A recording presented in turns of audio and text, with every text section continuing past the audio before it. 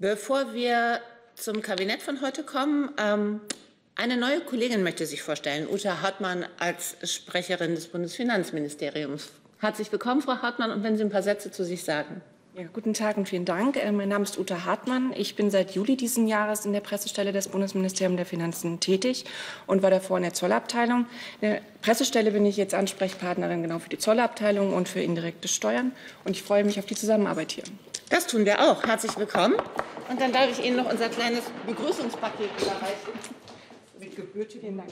Dankeschön. Danke. So, dann Frau Demmer, bitte. Ja, im Kabinett ähm, hat die Bundesregierung heute beschlossen, sich mit bis zu zehn Beamtinnen und Beamten der Polizei des Bundes und der Länder an der integrierten Mission der Vereinten Nationen zur Unterstützung der Transition in Sudan, der United Nations Integrated Transition Assistance Mission in Sudan, zu beteiligen. Der Sicherheitsrat der Vereinten Nationen hat am 3. Juni 2020 mit Resolution 2524 die Einrichtung der Mission als besondere politische Mission beschlossen. Die Umsetzung des Mandats durch die Mission soll ab 1. Januar 2021 beginnen. Die langjährige Mission der Vereinten Nationen in Darfur wird zum Ende des Jahres geschlossen und voraussichtlich bis Mitte nächsten Jahres dann abgezogen. Deutschland hat in seiner Eigenschaft als Mitglied des Sicherheitsrates der Vereinten Nationen und dort als Co-Federführer für das Sudan-Dossier die konkrete Ausgestaltung der Mission eng begleitet und koordiniert. Und die Bundesregierung will mit der Beteiligung an der Mission das fortwährende Engagement für einen friedlichen, prosperierenden Sudan unterstreichen.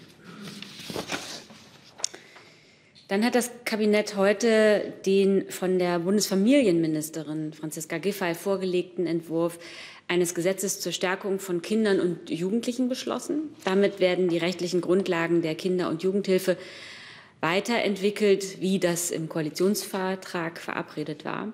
Ziel ist ein wirksames Hilfesystem, das Kindern, Kinder vor Gefährdungen schützt und Familien stärkt. Dabei gilt es dann vor allem diejenigen Kinder und Jugendlichen zu unterstützen, die unter besonders belasteten Lebensbedingungen aufwachsen und so Gefahr laufen, von der sozialen Teilhabe abgehängt zu werden. Konkret sieht der Gesetzentwurf Änderungen in fünf Bereichen vor. Äh, zum einen ein besserer Kinder- und Jugendschutz, eine Stärkung von Kindern und Jugendlichen, die in Pflegefamilien oder in Einrichtungen mit Erziehungshilfen aufwachsen, Hilfen aus einer Hand für Kinder und Jugendliche mit und ohne Behinderungen, mehr Prävention vor Ort sowie mehr, mehr Beteiligung von jungen Menschen und Eltern und Familien. Dann hat die Bundesregierung heute, na, jetzt habe ich eins überblättert, äh, den 14. Bericht über ihre Menschenrechtspolitik beschlossen. Der Bericht beinhaltet zentrale Entwicklungen in der deutschen Menschenrechtspolitik und im internationalen sowie europäischen Menschenrechtsschutz im Zeitraum vom 1. Oktober 2018 bis zum 30. September 2020.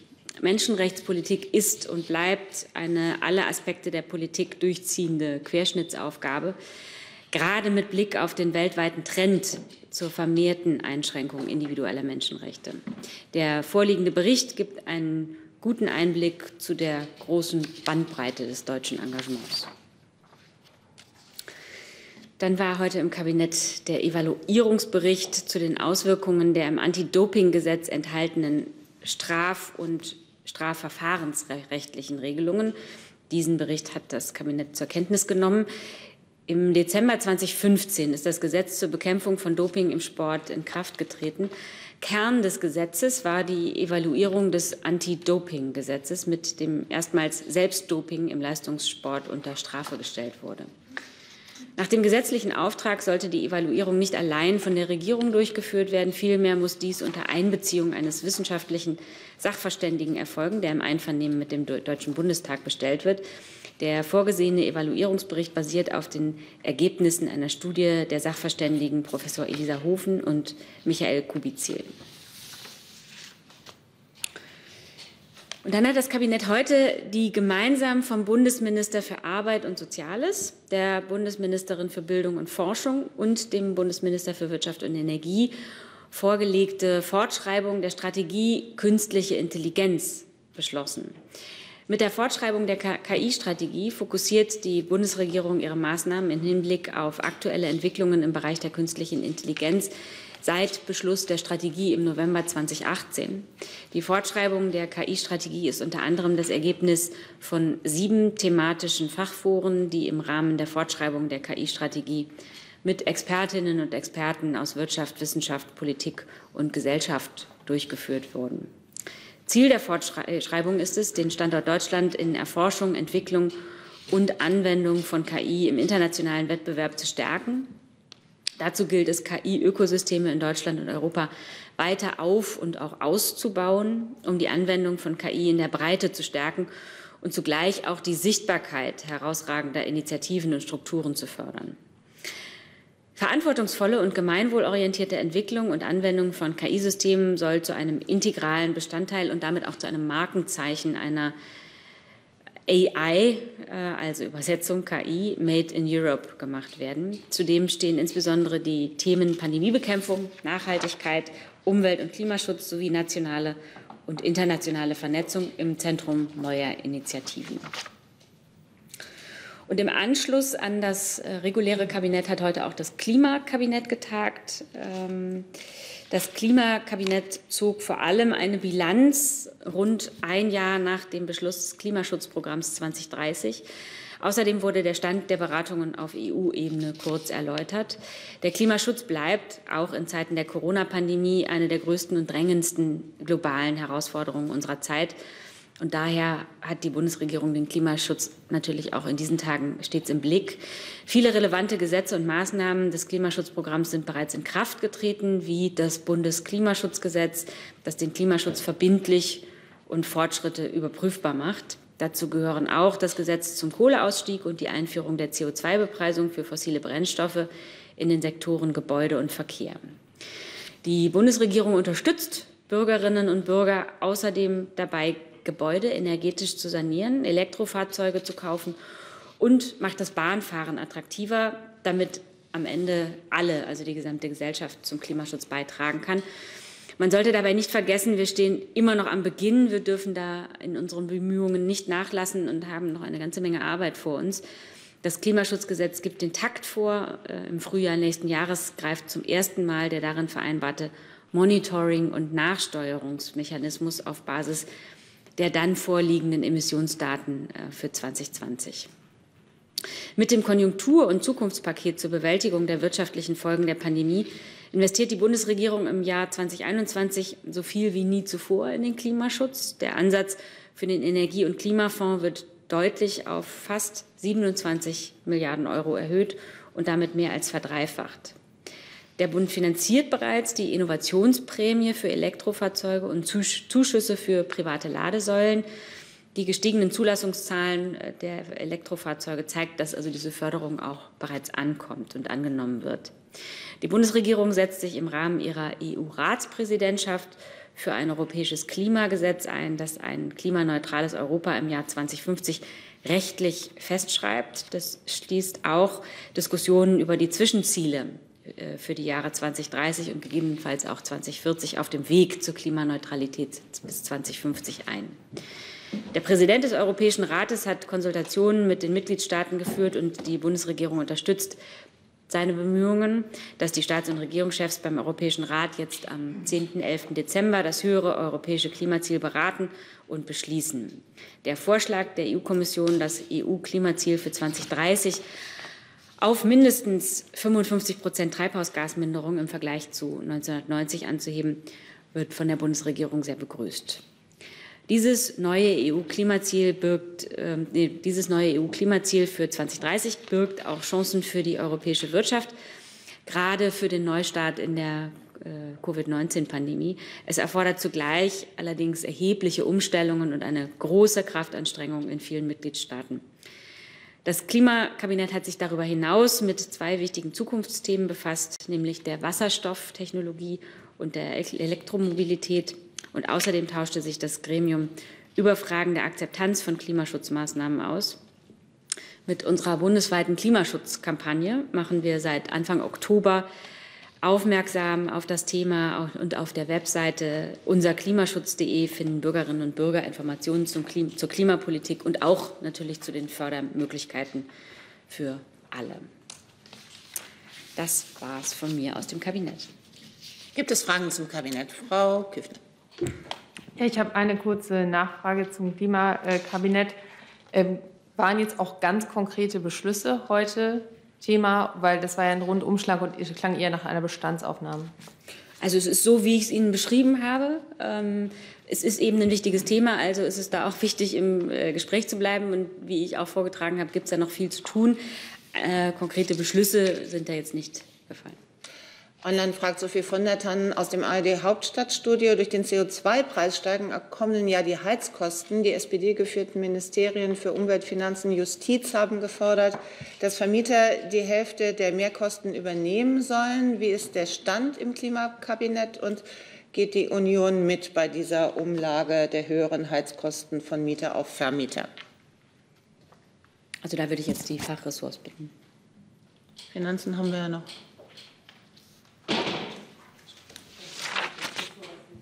Genau. Wer möchte denn anfangen?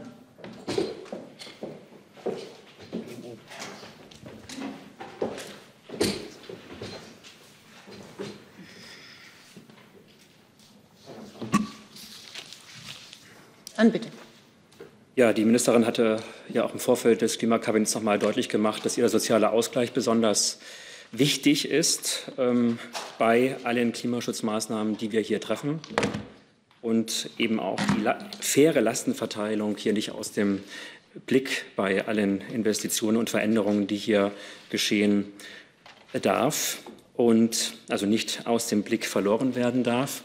Und ähm, das ein wichtiger Punkt, ein wichtiges Thema dabei ist eben die Verteilung ähm, der Heizkosten. Mit dem neuen Gebäudeenergiegesetz gibt es natürlich auch ähm, A, neue Vorgaben ähm, seitens der Umrüstung für klimafreundliche, emissionsärmere Technologien. Auf der anderen Seite haben wir eben den CO2-Preis, der ja ähm, CO2, den Ausstoß von CO2 natürlich dann auch im Heizbereich verteuert.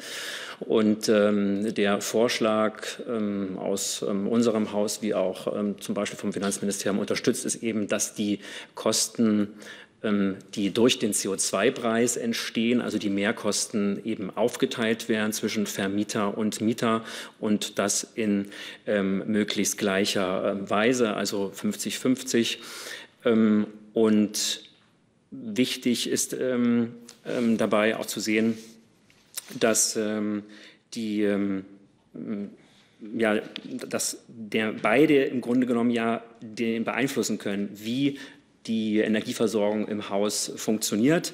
Der Vermieter ist verantwortlich für die Technik, für die Art und Weise, wie ähm, letztlich die ähm, Energie ins Haus kommt. Und der Mieter hat natürlich auch eine gewisse Verantwortung.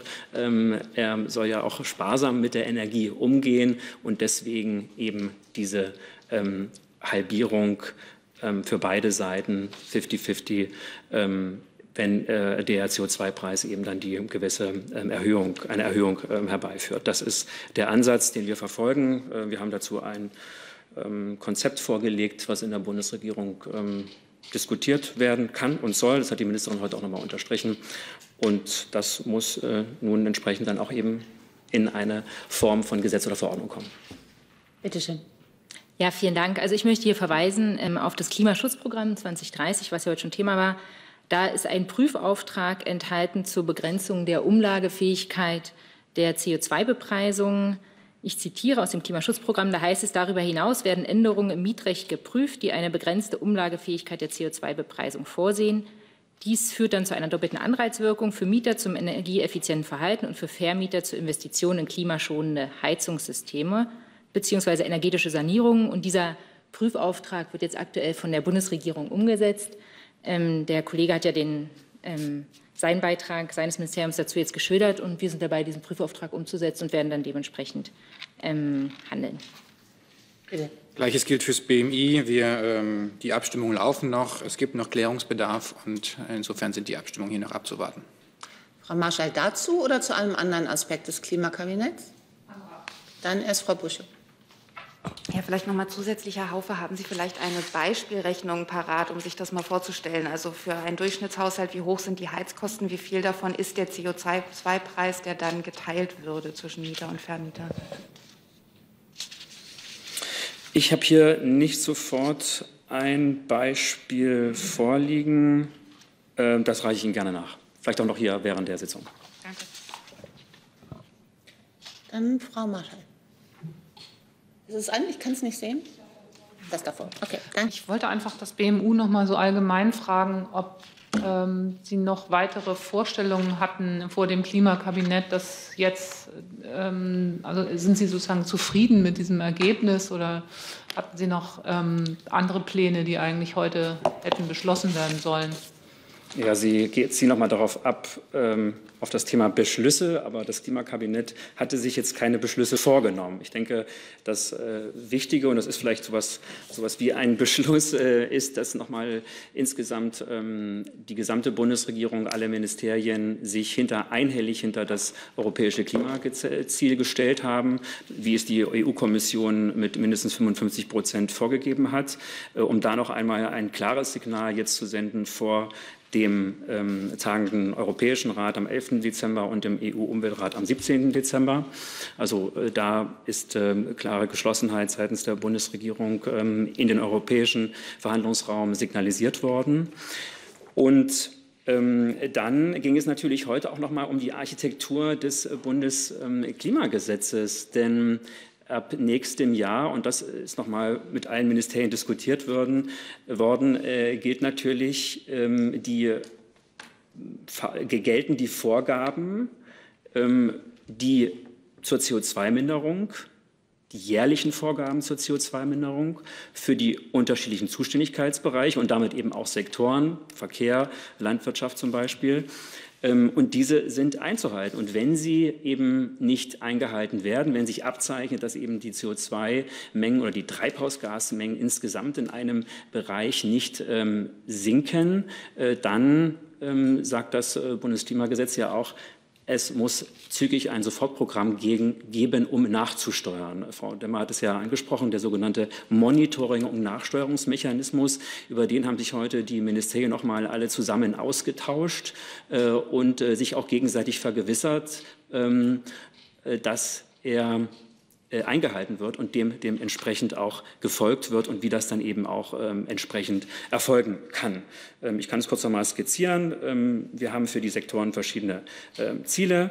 Ähm, zeichnet sich ab, dass ähm, äh, für einen Bereich, zum Beispiel eben jetzt Verkehr oder Landwirtschaft, dann das Ziel nicht eingehalten wird, dann wird das äh, entsprechend auch nochmal von Experten begutachtet, wie weit das wirklich eben vorliegt. Und dann muss auch ein, wird da vorgeschlagen, ein Sofortprogramm zu machen. Und dann ist das Ministerium eben angehalten, dann mögliche Gegenmaßnahmen zu ergreifen, um die, die CO2-Vergaben einzuhalten.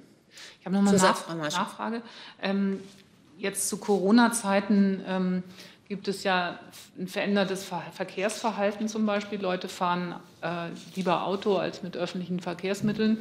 Ähm, soll das denn mit berücksichtigt werden bei diesem äh, Bundesklimagesetz, die besonderen Corona-Bedingungen, oder findet das dann keinen Einfluss?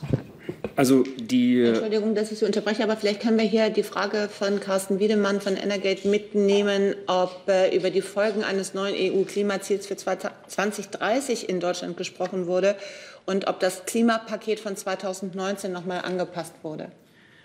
Okay, das sind jetzt unterschiedliche Themen. Ich fange mal an äh, mit äh, der, äh, der, den CO2-Effekten äh, durch die ähm, Corona-Pandemie.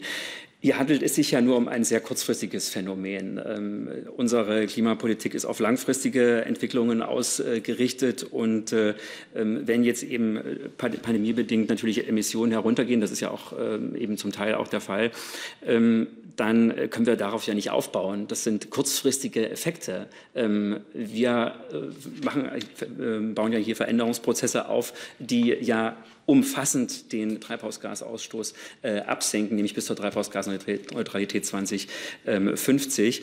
Ähm, insofern spielt das keine große entscheidende Rolle. Das, äh, da würde ich wirklich ähm, da die Erwartung ähm, schon mal rausnehmen wollen. Ähm, jetzt die nächste Frage zum und vielleicht dazu noch anschließend, weil Sie fragten, so, wo sind denn da ähm, vielleicht mögliche Entwicklungen, die sich abzeichnen. Ähm, das wurde heute auch im Klimakabinett beschlossen, ähm, gerade was die Ladeinfrastruktur äh, betrifft. Da war klar, hier ist eines der großen, ähm, hier liegt eine der großen Anstrengungen für die nächsten Jahre. Da muss mehr passieren. Und gleichzeitig, das hat die Ministerin auch noch mal deutlich unterstrichen, äh, werden wir den Ausbau der Erneuerbaren so wie der Pfad bisher geplant ist, auch in dem jetzigen EEG-Gesetz, so wie es jetzt im Parlament liegt, letztlich nicht halten können. Wir werden ihn, wir werden den Ausbau steigern müssen. Ähm, und da komme ich gleich zur nächsten Frage. Natürlich, weil wir ein höheres ähm, Klimaziel für 2030 in der Europäischen Union äh, haben werden. Eben die mindestens 55 Prozent, je nachdem, wie dann die Einigung mit dem Europäischen Parlament aussieht. Also da zeichnet sich ja schon so eine Veränderung ab, äh, mit der sich Deutschland dann auseinandersetzen muss, äh, mit ähm, einem noch ähm, höheren Ausbau, stärkeren Ausbau der erneuerbaren Energien im, äh, Sonne- und Windbereich. Das hat die Ministerin heute auch noch mal deutlich unterstrichen. Ähm, und was ich weiß, dass die Frage viele Journalisten umtreibt, was bedeutet dieses Ziel? Wir können natürlich heute und nicht da komplett Auskunft geben. Das ziemt sich auch schon deswegen nicht, weil wir noch gar keinen Beschluss haben zwischen ähm, Europäischen Rat und Europäischen Parlament. Ähm, erstmal müssen wir diesen Beschluss abwarten, wie der aussieht, wie das europäische Ziel 2030 dann am Ende ausfällt. Dann, ich kann den Prozess kurz erklären, dann wird die Kommission im nächsten Jahr einen Vorschlag machen, ähm, wie wir das Ziel 2030 erreichen wollen in der Europäischen Union. Sie wird also eine Art zweite Folgenabschätzung vornehmen. Das wird im Juni äh, in etwa so ist der Plan der Kommission offiziell, erfolgen. Ähm, Fit äh, for 55, das ist so eine der, ähm, so, so nennt sie dieses, dieses Ziel, dieses Programm. Momentan jedenfalls, je nachdem das Ziel dann ausfällt. Ähm, und dann wird man sehen, wie wird das im Emissionshandel weitergehen? Wie wird man das in dem Nicht-Emissionshandelbereich Verkehr und Landwirtschaft regeln? Wie wird man das bei CO2-Grenzwerten für Verkehr regeln? Das ist so die, äh, der, der, Fahrplan. Und äh, Sie haben jetzt nochmal nach neuen Änderungen gefragt äh, des Klimaschutzprogramms. Äh, ähm, Änderungen wurden da heute nicht besprochen, aber ich habe ja gerade bestimmte Punkte angesprochen, die vielleicht in Zukunft geändert werden. Ja. Dann noch mal ein Komplex Solarenergie von Hans Jessen, freier Journalist. Und damit wollen wir das dann auch beschließen. Warum liegen in Deutschland bei privaten Solaranlagen die Kosten für Einspeisezähler mehrfach höher als in den Niederlanden? Ich nehme an, dass sich die Frage nicht nur auf die holländischen Provinzen bezieht.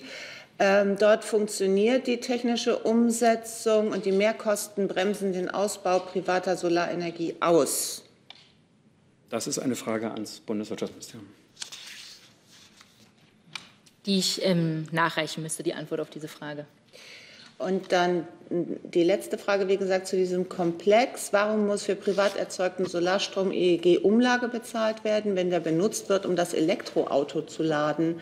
Das konterkariert Energie- und Mobilitätswende. Wer möchte das beantworten? Auch das, also muss ich mir noch mal anschauen und dann nachreichen. Okay. Dann kommen wir zum großen, ach nee, Frau Wolf, das war ein neues Thema, ne? Genau. Dann kommen wir nämlich zum großen ähm, Komplex Corona. Und da bräuchten wir das Gesundheitsministerium wieder vorne.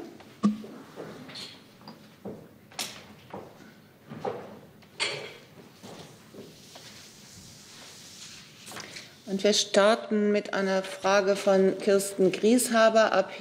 Ähm, Herr Spahn sagte gestern in Düsseldorf, dass sich die Zulassung des BioNTech-Impfstoffes durch die EMA verzögert. Äh, war das eine Überraschung und ist die Regierung enttäuscht, dass der deutsche Impfstoff jetzt zunächst in Großbritannien angewandt wird?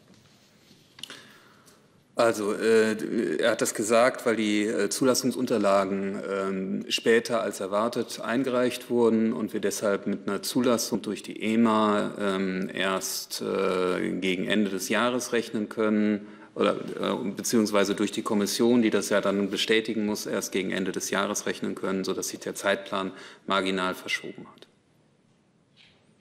Herr Krämer dazu? Ja, ähm, ich würde auch gerne auf die Bewertung nochmal, dass das jetzt in Großbritannien so schnell zugelassen wurde. Ist das aus Sicht der Bundesregierung, vielleicht auch an Frau Demmer, ist das gefährlich schnell oder ist das eine gute Nachricht? Also ich, ich, möchte jetzt quasi die andere, die Zulassungsverfahren Dritter nicht bewerten. Ich würde nur gerne noch mal zu dem Zulassungsverfahren für die EU über die EMA äh, sagen, dass äh, ein solches Zulassungsverfahren ja kein Selbstzweck ist, sondern es ja letztlich immer darum geht, wirksame und sichere Impfstoffe äh, einzusetzen. Da gibt es klar vorgeschriebene äh, Abläufe, Prozedere. Und so sehr wir jetzt in diesem Fall natürlich dringlich auf äh, die Zulassung des Impfstoffes ähm, gegen Covid-19 äh, warten, bleibt es auch hier ein notwendiges Prüfverfahren. Äh, da werden wir jetzt in diesem Fall nicht von den üblichen Verfahren abweichen. Das ist äh, unsere Form der Gründlichkeit, von der wir eben auch in der Pandemie nicht abweichen. Ähm, und ähm, Ende des Jahres ist es ja dann, äh, so wie es aussieht, soweit.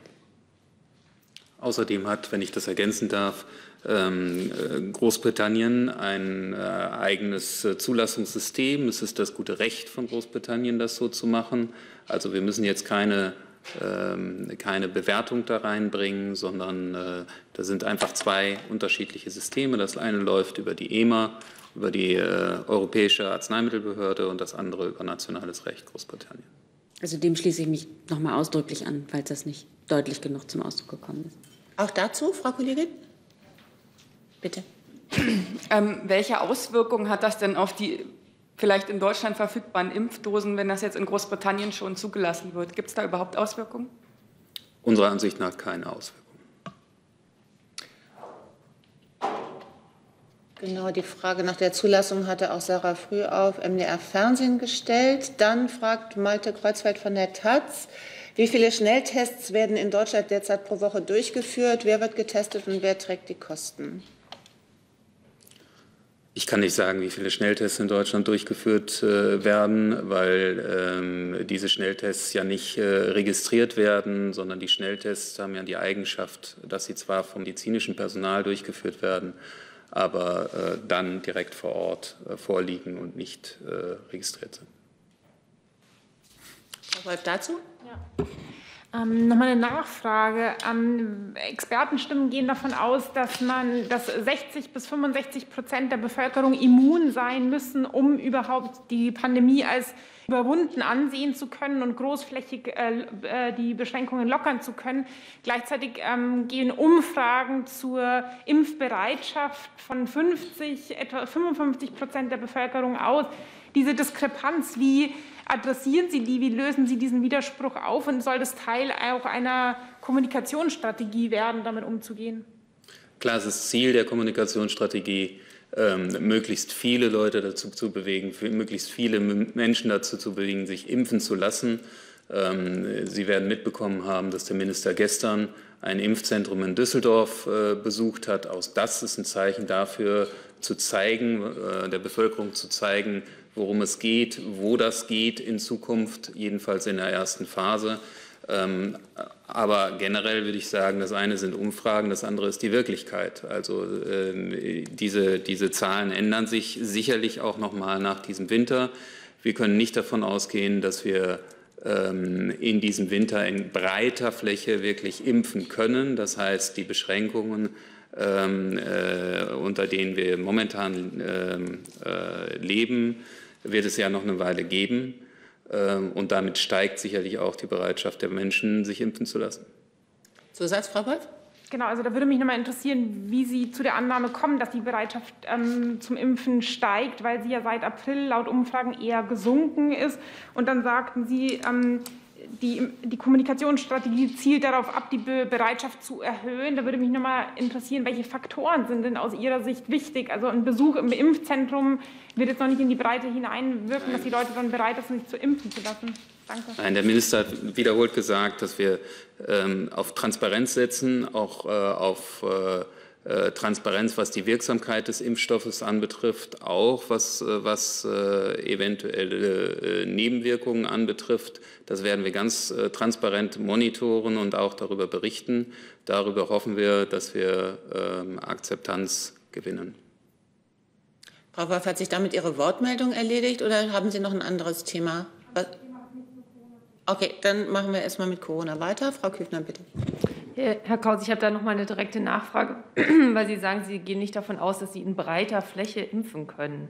Können Sie da vielleicht einfach ein paar Zahlen nennen? Weil die, Nein, ähm, Zahlen kann ich Ihnen nicht nennen, weil noch nicht klar ist, äh, wann wir wie viel Impfstoff zur Verfügung haben. Aber klar ist, dass wir am Anfang nicht genug Impfstoff für alle haben. Deswegen, das haben wir ja schon mehrfach gesagt, dass wir in verschiedenen Phasen impfen und am Anfang äh, priorisieren wir. Das passiert in den Impfzentren und bevor das dann in die äh, Haushaltspraxen ähm, äh, ausgerollt wird, die Impfkampagne, wird es sicherlich noch einen, ein, zwei Monate dauern. Ich, das, ich, kann den genauen Zeitpunkt nicht sagen. Ich kann nicht die genauen äh, Impfstoffdosenzahlen sagen. Das hängt A vom, wir haben noch nicht mal eine Zulassung. Ne? Das hängt A vom Impfstoff, es ist sehr wahrscheinlich, welcher Impfstoff der erste sein wird. Aber das, äh, es sind ja auch noch weitere im Zulassungsverfahren. Es hängt davon ab, wie schnell das geht. Ähm, es hat einfach mehrere Faktoren, die man momentan so nicht überblicken kann. Aber die Erwartungshaltung kann nicht sein, dass wir jetzt Ende des Jahres äh, den Schalter umstellen und ähm, dann äh, Neujahr alle Deutschen geimpft sind. Das wird nicht so sein. Darf ich noch mal kurz nachfragen? Also es ging Letzter Zusatz, bitte. Ja. Einfach nur darum, was in breiter Fläche heißt. Zehntausende, Hunderttausende? Nein, in breiter Fläche meint, meint äh, genau das, was ich vorhin gesagt habe, dass man von der, von der priorisierten ersten Phase übergeht in eine, in eine andere Phase, wo man ähm, äh, mehr Menschen auch in ganz normalen Arztpraxen dann impft. Herr Krämer noch mal. Ich würde mal voraussetzen, dass die Impfbereitschaft. Wenn Sie das Mikrofon ein bisschen näher zu sich ranziehen, dann können wir Sie besser verstehen, auch mit Maske. Herzlichen Dank. Alles klar. Ich würde mal voraussetzen, dass die Impfbereitschaft bei den älteren Menschen und in den Risikogruppen und auch in den Gesundheitssystemen höher ist. Wie lange würde das dauern, die, die gesamte Risikogruppe und alle im Gesundheitssystem zu impfen? Also A, weiß ich nicht, ob Ihre Annahme richtig ist, denn ähm, äh, was zum Beispiel Grippeimpfungen anbetrifft, da ist es im Gesundheitssystem so, dass äh, längst nicht alle, die im Gesundheitssystem arbeiten, ähm, äh, sich auch gegen Grippe impfen lassen.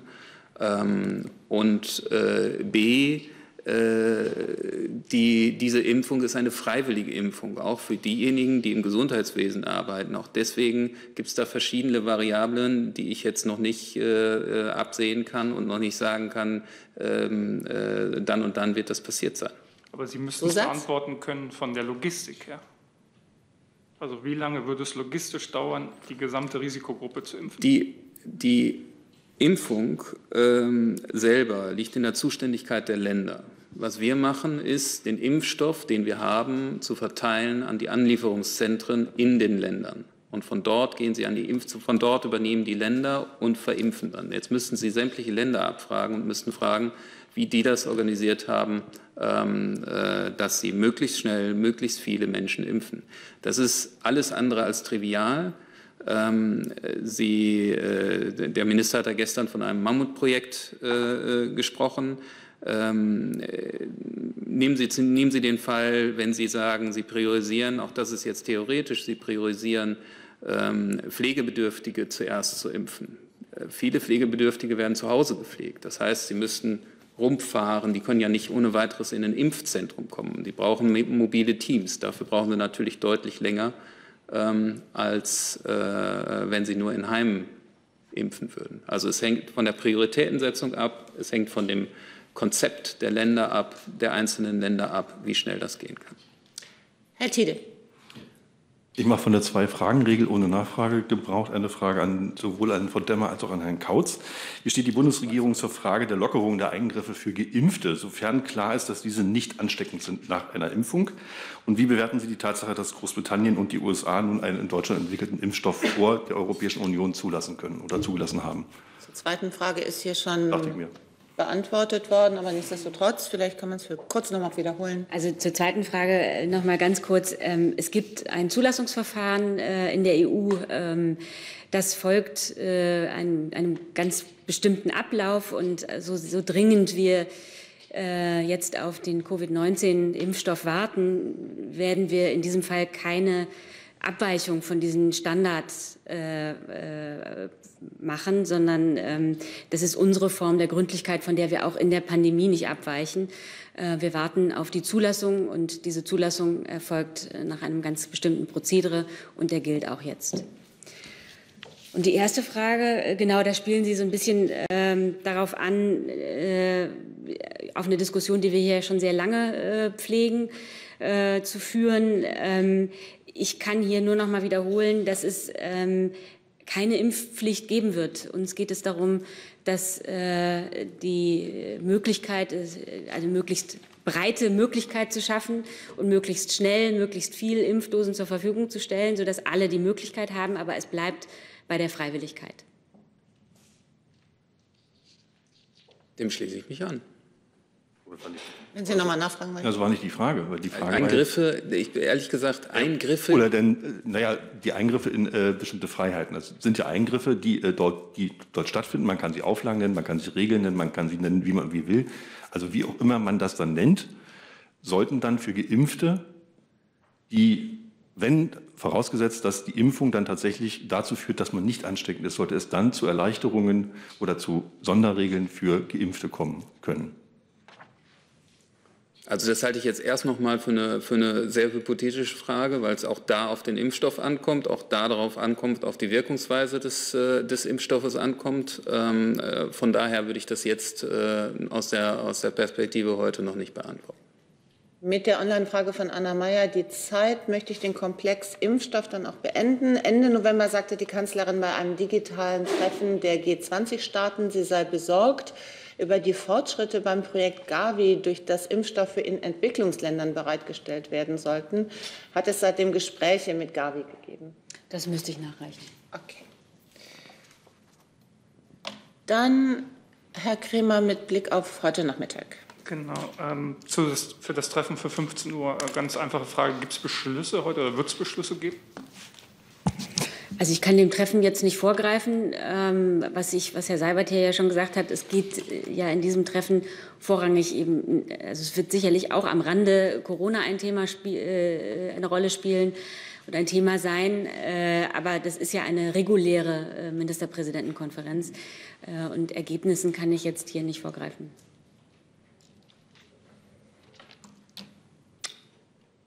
Dann Frau Wolf mit dem neuen Thema. Ähm, eine Frage zu Sachsen-Anhalt. Mich würde ähm, die Perspektive der Bundeskanzlerin auf die Vorgänge dort interessieren. Wie steht sie dazu, dass die Entscheidung des Landtagsausschusses vertagt wurde? Gab es Gespräche mit ähm, dem äh, Ministerpräsidenten von Sachsen-Anhalt, Herrn Haseloff, bilateral oder auch äh, auf Bundesebene zu diesen Vorgängen? Ähm, das ist ein Thema, was die äh, Länderebene betrifft. Deswegen möchte ich das hier nicht kommentieren. Aber können Sie sagen, ob die Bundeskanzlerin dazu Gespräche geführt hat auf Bundes- oder in Richtung Landesebene? Wie gesagt, es ist ein Thema, was auf Landesebene äh, spielt und äh, spielt hier in der Regierungspressekonferenz keine Rolle. Für den nächsten Komplex brauchen wir das Verteidigungsministerium, bitte.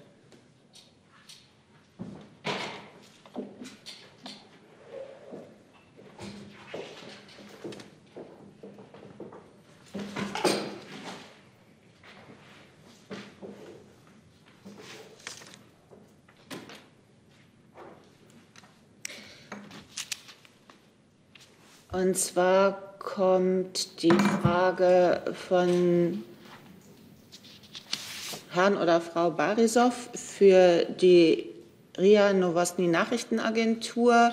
Mehrere russische Politiker haben Frau Annegret Kramp-Karrenbauer scharf kritisiert, sehr scharf kritisiert, nachdem sie im Bundestag dazu aufgerufen hatte, mit Russland aus einer Position der Stärke zu verhandeln. In dieser Kritik wurde Frau Kramp-Karrenbauer ganz persönlich angegriffen. Ist im Ministerium diese Aussage russischer Politiker bekannt? Und falls ja, wie kann das Ministerium das kommentieren?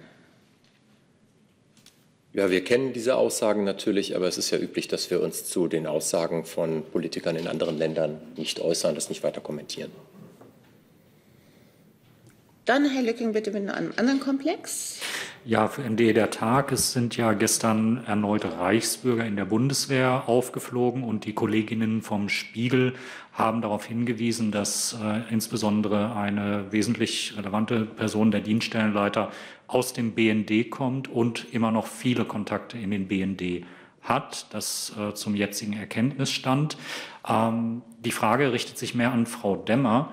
Ähm, wie lange kann vor diesem Hintergrund der Kampf gegen rechte Strukturen in Sicherheitsbehörden ähm, aus Sicht des Kanzlerinnenamtes äh, nur noch vom BMI und vom BMVG geführt werden? Es gibt ja auch zwischen BND und Kanzlerinnenamt äh, viel Personalaustausch. Und äh, wann wird das zum Thema werden, dem sich der Kanzleramtsminister Helge Braun dann auch öffentlich deutlicher widmen wird? Also ich würde die Ihrer Frage zugrunde liegende These schon so nicht teilen, denn das Thema ist grundsätzlich eines, das äh, für die gesamte Bundesregierung von hoher Bedeutung ist und hier auch immer wieder thematisiert worden ist. Insofern ähm, äh, ist das äh, relevant und ähm, hat ja auch schon zu einigen Ergebnissen geführt, ähm, zu denen wiederum aber dann die Fachressorts sich äußern können. Aber wie geht man im äh, Bundeskanzlerinnenamt mit der Gefährdung um, die ja ganz offensichtlich gegeben ist, wenn in immer weiteren und immer dem Kanzleramt näher rückenden Strukturen äh, rechte Strukturen auftauchen? Wie, die, wie gesagt, die, dieses Thema ist für die ganze Bundesregierung ein relevantes und ähm, wir ruhen da nicht, äh, sondern sind tätig geworden und äh, zu den konkreten Inhalten äh, müssten sich die Fachressorts äußern. Ja, sehr gerne, Herr Lücking. Wie Sie ja wissen, ist das ein laufendes Ermittlungsverfahren. Deswegen kann ich Ihnen natürlich zu äh, einzelnen personellen Verflechtungen, die Sie da insinuieren, in Ihrer Frage keine Antwort geben. Da müssten Sie sich dann vielleicht auch an den MAD äh, wenden, aber auch der wird Ihnen dazu nichts sagen können, weil es laufende Ermittlungen sind. Und das ist eben in unserem Rechtsstaat so, dass wir da aus laufenden Ermittlungen nichts verkünden können. Aber Sie sehen ja an dem Fall, dass wir jedem, auch internen Hinweis, in diesem Fall waren es interne Hinweise, selbstverständlich sofort nachgehen. Und eigentlich ist es auch ein ganz ermutigendes, äh, ermutigende Entwicklung, dass es interne Hinweise waren, die dazu geführt haben, dass jetzt diese äh, Befragungen stattgefunden haben. Und äh, auf diesem Weg gehen wir weiter. Die Ministerin hat ja schon sehr oft und sehr deutlich gemacht, dass äh, Extremismus jeglicher Art ähm, keinen Platz in der Bundeswehr hat. Und auch das gilt natürlich nicht nur für die Soldaten, sondern auch in diesem Fall für zivile Angestellte der Bundeswehr. Gibt es weitere Fragen an das Verteidigungsministerium? Dann würde ich die Justiz mit nach vorne bitten.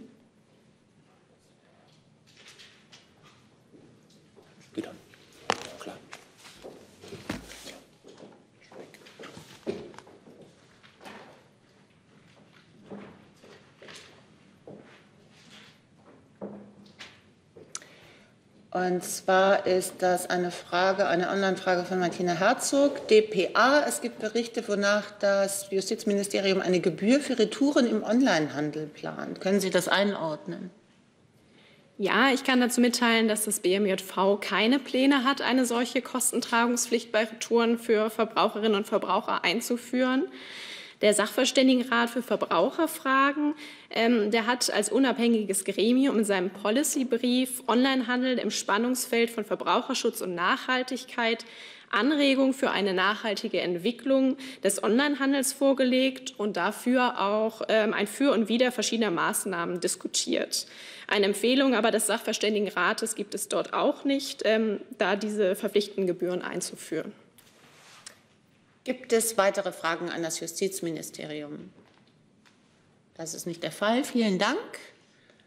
Und dann machen wir weiter noch mal mit Herrn Kremer, bitte. Ähm, ich hätte noch eine Frage zu Hongkong, vielleicht ans Auswärtige Amt. Ähm, wie bewerten Sie das Urteil für Joshua Wong? Die heutige Verurteilung von Joshua Wong, Ivan Lam und Agnes Chow ist ähm, aus unserer Sicht ein weiterer Baustein in einer Reihe von besorgniserregenden Entwicklungen, die wir im Zusammenhang mit Menschen- und Bürgerrechten in Hongkong besonders im letzten Jahr gesehen haben. Und es ist so, dass aus unserer Sicht zur Lösung der gesellschaftlichen und politischen Herausforderungen, die wir in Hongkong sehen und die, äh, denen sich Hongkong gegenüber sieht, dieses Urteil aus unserer Sicht nicht zuträglich ist. Das Hongkonger Basic Law, und daran erinnern wir immer wieder, garantiert die Versammlungs- und die Meinungsfreiheit. Und wir setzen uns dafür ein, dass eben auch weiterhin auch im Lichte der Sicherheitsgesetze, die in Hongkong jetzt gelten, die Rechte der ähm, Hongkonger Bevölkerung, die aus dem Basic Law resultieren, gewahrt werden.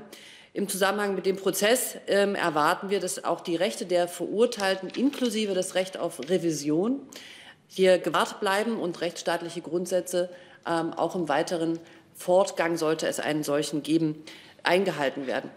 Falls Sie fragen, ob das Generalkonsulat Hongkong den Prozess beobachtet hat, ja, das deutsche Generalkonsulat hat am heutigen Gerichtstermin wie auch ähm, an den Terminen im Fall Wong, Zhou und Lam, die zuvor stattgefunden haben, ähm, als Beobachter teilgenommen. Dann noch eine Frage ans Auswärtige Amt. Anila Schuka, Deutsche Welle. Laut Medienberichten wurde die Entscheidung für die Eröffnung der Gespräche der EU mit Nordmazedonien und Albanien auf den 30. März 2021 vertagt.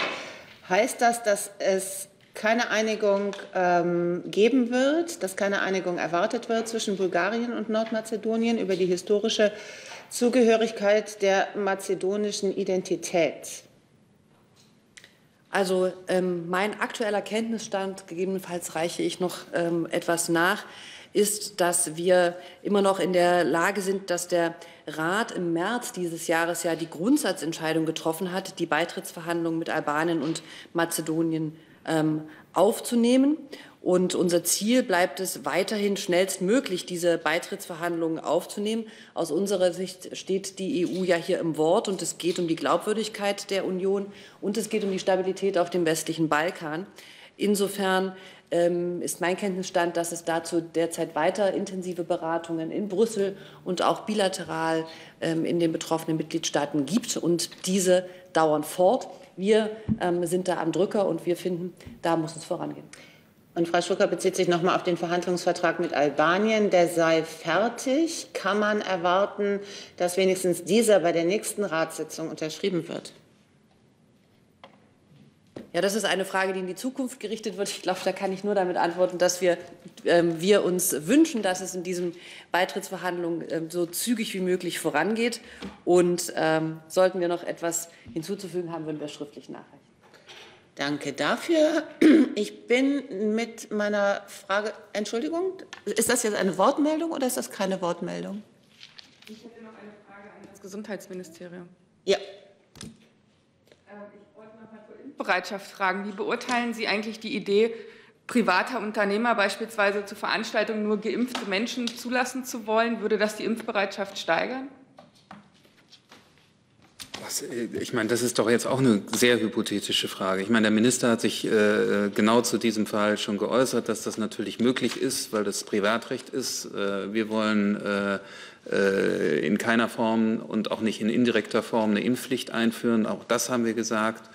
Und äh, außerdem ist das eine, eine, Ausgestaltung, die Sie jetzt sagen, äh, die man sich dann genau angucken müsste, unter welchen Kautelen das passiert und so weiter, um dann beurteilen zu können, ob das die äh, eventuelle Bereitschaft der Bevölkerung, sich impfen zu lassen, äh, steigern würde oder nicht.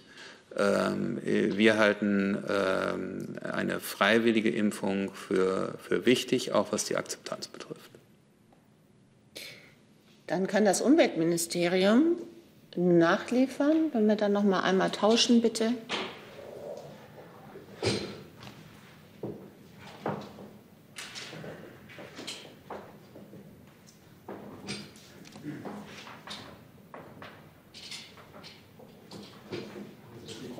Ja, Sekunde. Gut, ich liefere noch mal etwas zum CO2-Preis nach. Es wurde ja noch mal gefragt nach der ähm, Beispielrechnung. Was wären mögliche ähm, Kosten, die auf äh, Mieter und Vermieter äh, Mehrkosten, die auf Mieter und Vermieter ähm, zukommen? Wir starten ja im nächsten Jahr mit einem CO2-Preis von 25 ähm, Euro pro Tonne. Ähm, nehmen wir mal bei Heizöl an, da bedeutet das etwa, ähm, ich fange nochmal von, ich, ich mache es weniger kompliziert. Also 25 Euro äh, pro Tonne, das ist die Ausgangslage. Äh, ein Haushalt, der etwa 10.000 Kilowattstunden äh, Erdgas verbraucht, der wird 2021 insgesamt 60 Euro mehr im Jahr, also etwa 5 Euro äh, mehr im Monat zahlen. Und diese Summe steigt dann ja kontinuierlich an mit dem steigenden CO2-Preis. Ähm, ein Haushalt, der pro Jahr 1000 Liter Heizöl verbraucht.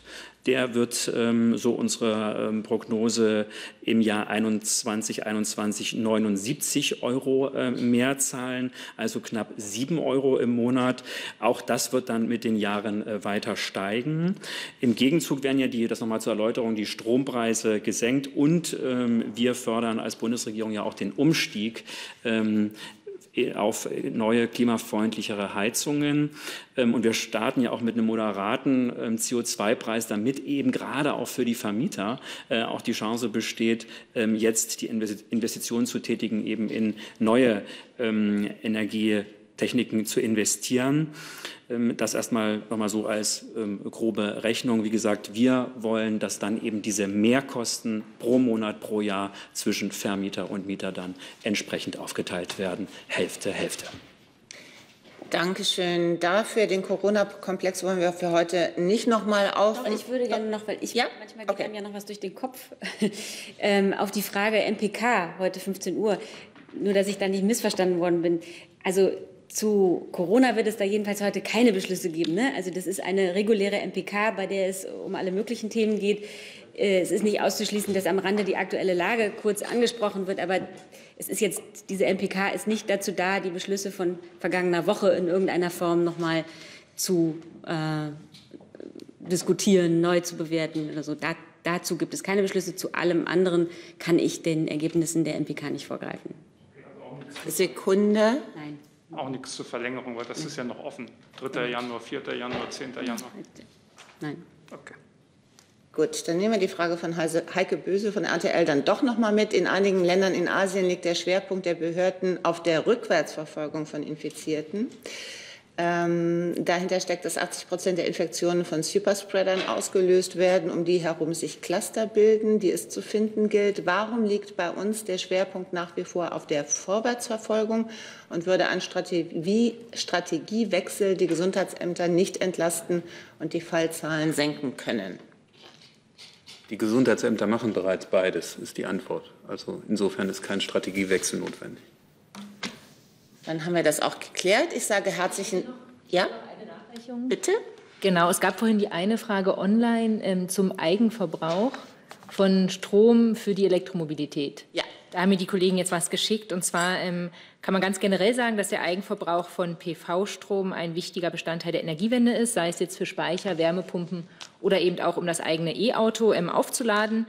Deshalb fördern wir auch die Anschaffung von PV-Anlagen finanziell. Gleichzeitig muss man aber auch sehen ähm, oder die Kosten für die Allgemeinheit im Blick behalten, weil ja nicht jeder zum Beispiel ein Dach hat, um sich eine PV-Anlage dort drauf zu montieren. Und zwischen diesen beiden Ansprüchen bewegen sich dann unsere Regelungen und so kommt die Förderung zustande.